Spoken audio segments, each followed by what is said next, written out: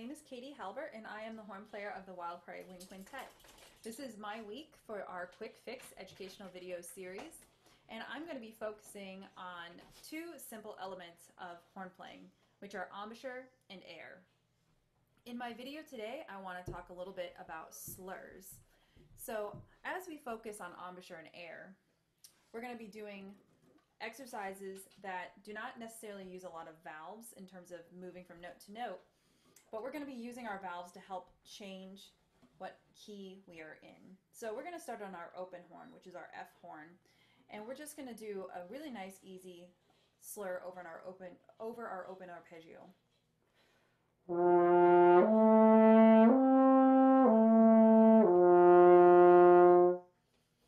So the embouchure of the horn starts with our mouthpiece placement, making sure that we feel like we're just setting the mouthpiece on our bottom lip and rolling it up. It should encompass all of our top lip. The ratio is normally two thirds top lip, one third bottom lip. And you also want to make sure that we're keeping a nice, what they call puckered smile, where the lips are relatively pursed and we're focusing on strong structure here. So we don't want to pull the corners back, which we call smiling, or pushing the corners too far forward, which is puckering. Having the right embouchure should make slurring feel very easy with the right combination of our airstream.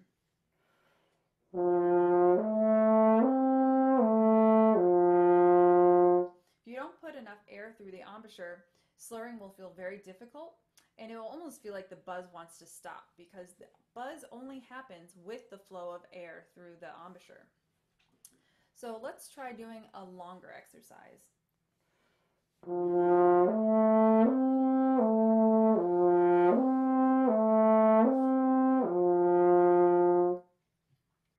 We should always feel as though the horn is naturally playing along with us. We shouldn't feel as though the horn is fighting us.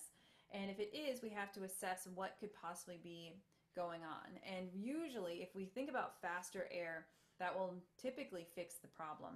But we need to make sure that we're not thinking about the airstream being aggressive. It should feel like a relatively uh, relaxed exhale.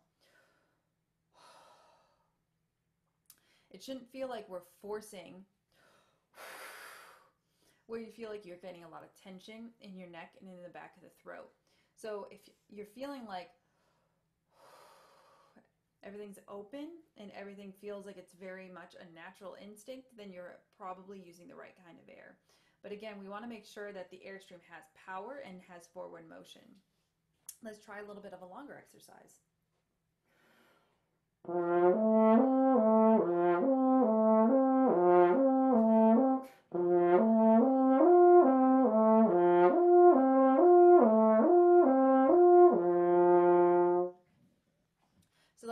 Exercise went up into um, still staying in our C major arpeggio, but it went up to that third space C.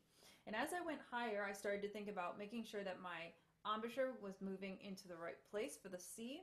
So thinking about bringing my corners together just a little bit and thinking about a flat chin.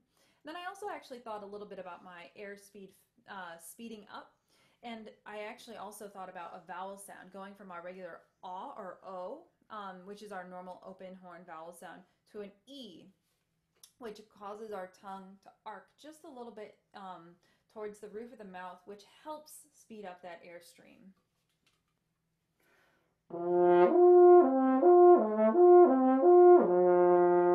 So you can see the various changes that are happening in my embouchure going from oh, oh, oh, There is a change of structure, but I'm also vocally in in um and orally thinking of the oh ee, oh ee, oh ee, oh ee, oh. I call that vocalizing. And I find that that helps me to focus on keeping the airstream going as though I'm singing through the instrument. So I'm going to try that whole exercise again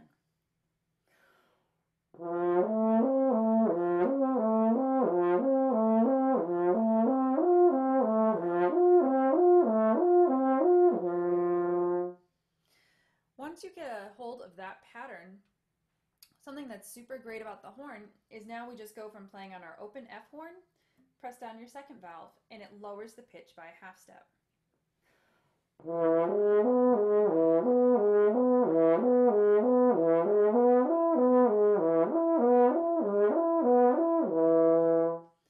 Going to first, another half step.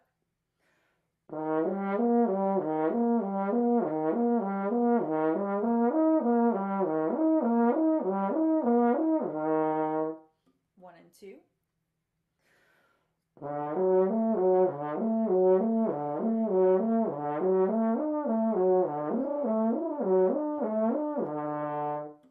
and three.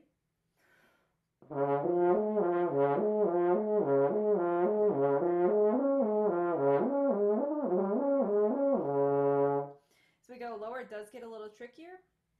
Let's try one and three.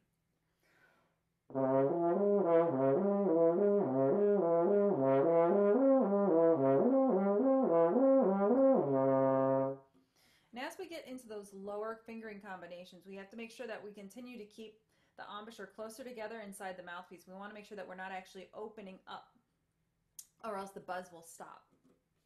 So focusing on using our embouchure and our air in the correct ways, slurring on the horn should feel very easy and very natural and should actually be a very um, important part of our warm-up routine. And so hopefully if you start incorporating that into your practice time that you will start to notice um, more strength in your embouchure and a better response um, from note to note. I hope today's quick fix was helpful. Join me again next time for working on our low register.